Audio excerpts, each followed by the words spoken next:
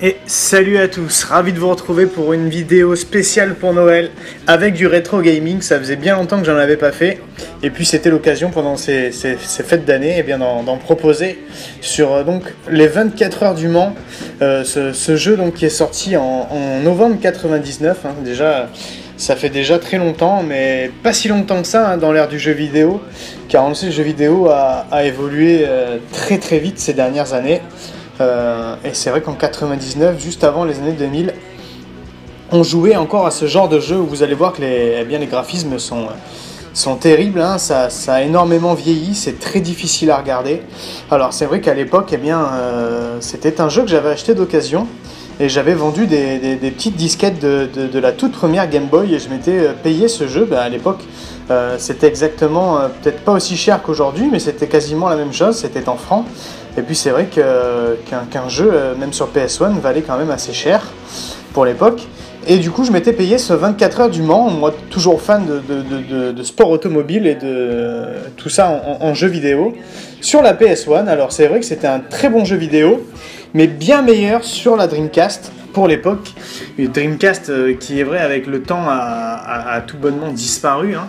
mais le jeu était vraiment meilleur sur la Dreamcast, notamment au niveau eh des, graphismes hein, euh, et, du, contenu également bien meilleur sur la PS1 et la PS1 qui restera euh, eh bien sur, les 24 heures du Mans peut-être eh la version définitive la moins réussie le jeu qui était également sorti sur euh, Game Boy Colors aussi et sur PC avec une version PC aussi euh, en deçà des autres versions. Et donc la meilleure version était sur Dreamcast avec vraiment des graphismes super. Alors voilà, pour les graphismes, c'est vrai que ça casse pas des briques. C'est vraiment pas génial, génial, mais on s'en contentait euh, tout simplement, hein, parce qu'il n'y avait rien d'autre. Alors c'est vrai que pour les plus jeunes euh, d'entre vous qui nous regardent, c'est vrai que c'est assez difficile à croire qu'on jouait avec des jeux comme ça, mais c'était le début de la 3D. Et puis pour le début de la 3D, ben, c'était assez phénoménal, hein, euh, ce genre de graphisme. Euh, on, retrouvait vraiment les voitures qu'on, qu'il y avait à la télé, euh, presque en chair et en os. Eh bien, c'était phénoménal pour l'époque. Et c'était un jeu eh qui était la meilleure, sans doute l'une des meilleures simulations auto de l'époque avec, euh, bien, avec euh, quelques améliorations, pas aussi poussées qu'on l'a vu que, que Formula Racing, euh, ma précédente vidéo, mais il y avait quand même bien, quelques réglages à faire, notamment sur l'appui, sur les pneus, sur l'essence. On le verra après en faisant une simulation des 24 heures du Mans. Alors c'est vrai que j'ai repris la jouabilité en même temps que j'ai tourné la vidéo et branché le, le HD PVR. Et il est vrai que c'est très très compliqué. Hein. On n'a plus du tout l'habitude déjà de jouer sans, sans joystick. Euh, c'est vrai que les, nos manettes aujourd'hui, euh, depuis euh, l'arrivée de la, de, la, de la PS2, eh bien, il y, a des, il y a des joysticks. Même à la fin de la, de, la fin de vie de la, de la PS1, ils avaient commencé à sortir les manettes avec les joysticks. Mais là, c'était vraiment la croix multidirectionnelle. Et c'était vraiment très difficile à gérer, très difficile à conduire. Alors euh, voilà, vous pouvez simuler eh bien tout simplement euh, pour signer dans une écurie euh, fictive bien entendu des fois et puis avec des écuries aussi qui, participaient à l'époque des 24 heures du Mans en 99 à la sortie du jeu. Eh bien tout simplement des contrats hein, à l'image de, ce que fait Project Cars aujourd'hui avec eh bien voilà la classe GT1 à l'époque on n'avait pas le LMP1 comme on a aujourd'hui mais on avait du GT1 du prototype du GT2 tout ça dans un jeu pas avec un contenu très riche, hein, puisqu'il proposait que trois circuits à l'époque, et puis quelques voitures, euh, pas non plus des masses, à débloquer bien entendu au fur et à mesure du jeu.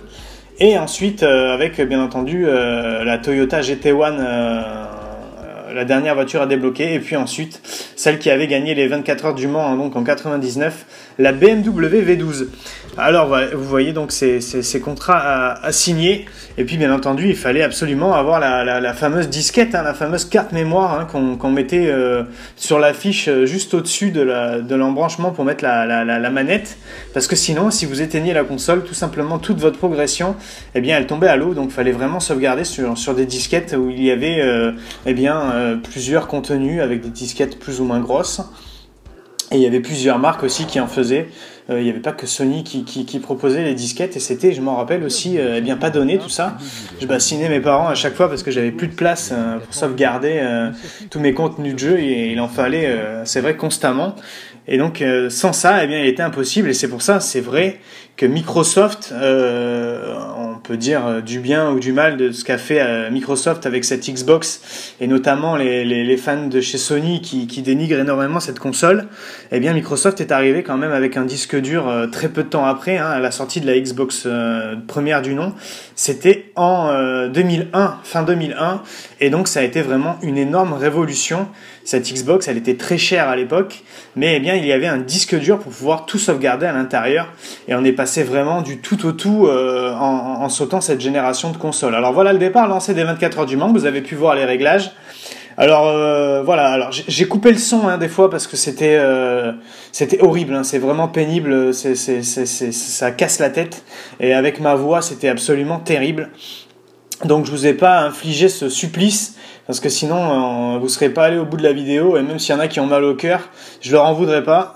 Euh, car euh, c'est vrai qu'il y a eu énormément de progrès euh, quand on regarde du Forza 6 de jeudi à ce donc ce contenu sur les 24 heures du Mans. Alors vous vous apercevez également que le tracé est très court. Euh, et que eh bien tout simplement euh, sur ce tracé très court eh bien euh, vous mettez beaucoup moins de temps. Ils avaient raccourci le, tracé. Je, ne sais pas combien. Vous le voyez les lignes droites sont réduites. Tout est réduit et je me suis fait surprendre notamment en arrivant dans, Dunlop très très vite parce que la, la, les lignes droites des stands la pit lane est très très courte alors euh, à l'époque je m'en apercevais pas, mais c'est vrai que là euh, ça me fait vraiment bizarre. Euh, vous voyez même une audière hein, qui est qui est relativement très courte, la voiture qui va très très vite. on comprend d'ailleurs pas trop pourquoi. on dirait qu'on joue carrément en accéléré et franchement c'est très perturbant. au début ça ça m'a donné un peu la nausée et dire qu'à l'époque j'ai passé énormément de temps sur ce jeu, j'avais débloqué toutes les voitures et tous les circuits, et il y avait même la possibilité, je me rappelle à l'époque, et j'avais failli un peu me, chauffer, eh bien de finir euh, l'épreuve des 24 heures en 24 heures. Oui, oui, je vous avais bien entendu, de faire ce jeu en 24 heures.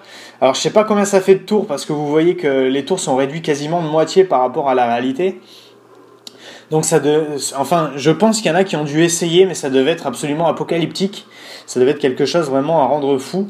Donc il y avait 24 heures, il y avait 12 heures, il y avait 24 minutes et il y avait 12 minutes. Moi, je suis même pas arrivé à la fin des 12 minutes parce que j'en pouvais plus. J'ai la tête qui a failli exploser.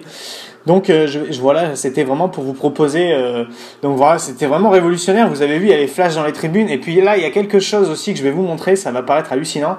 C'est ceci. C'est vous avez le soleil dans les yeux et vous avez donc un filtre euh, presque opaque qui apparaît à l'écran. Alors c'est pas très beau, mais voilà, moi à l'époque, ça m'avait énormément surpris. J'avais trouvé ça phénoménal d'avoir le soleil dans les yeux comme ça. Comme quoi, eh bien, on évolue avec le temps. Vous le voyez, il y a les, drapeaux sur le côté. Et puis là, il y a votre stand euh, qui donc vous dit eh bien, que la nuit est en train de tomber, que les ombres sont euh, dangereuses. Et donc voilà, eh bien, la nuit avec les feux d'artifice euh, sur la Sarthe. Donc, eh bien, avec une conduite, vous voyez, je fais que me sortir. Été impossible à laisser la voiture sur la piste alors que j'y arrivais très bien avant. Et c'était pareil pour Formula One et Formula One Racing également. Et là, bien, euh, c'était vraiment très très dur.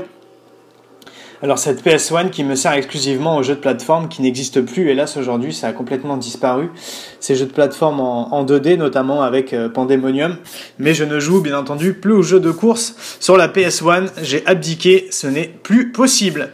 Donc voilà, bien moi je vous dis à très vite pour de nouvelles aventures, très bonne reprise euh, eh bien demain pour ceux qui ne sont plus en vacances. En attendant, portez-vous bien. Allez, salut à tous.